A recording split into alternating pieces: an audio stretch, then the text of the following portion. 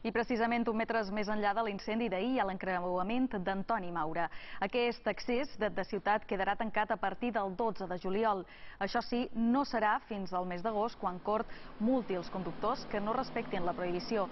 El grup municipal del Partit Popular no hi està d'acord perquè creuen que no és encertat posar en marxa la restricció en plena temporada turística.